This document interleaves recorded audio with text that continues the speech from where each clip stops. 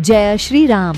Hello दोस्तों, कैसे हूँ आप सब दोस्तों? हम सब चाहे जितनी बार भी रामायण देख लें, लेकिन फिर भी देखने का मन करता ही है। ये इसलिए क्योंकि, यह हमारी सनातन संस्कृति को दर्शाता है। वेल तू लीजिए, आपकी यह ख्वाहिश अब पूरी होगी। आपको बता दे कि जल्द ही सोनी टीवी पर एक बार फिर रामायण शुरू होने वाला है। शो का नाम है श्रीमाद रामायण। अगर बात करें इसके स्टार कास्ट के बारे में तू एक मिनट अपने अभी तक चैनल को सब्सक्राइब नहीं किया है। वेल, अगर चैनल पर नए हो, तू चैनल को सब्सक्राइब कर के बेल आइकन को ऑल पर सिलेक्ट कर लूँ। सबसे पहले बात करते हैं कि राम जी के करेक्ट को कौन निभा रहा है खबरों की। माने तू सुजय रियो राम जी बनने वाले हैं। सुजय रियो इससे पहले भी बहुत सारे सौ में काम कर चुके हैं लाइक सिया के राम। जैसे शो में अगर बात करे, लक्ष्मण जी का रोल कौन निभाए गए? बसंत भात को लेकर मेकर्स रेडी है। बसंत भात इसे पहले श्री कृष्ण में भी बलराम के रूप में नज़र आ चुके हैं। बात करें हनुमान जी का रोल कौन निभाएगा? प्रांची बंसल माँ सीता के रोल को निभा रही है।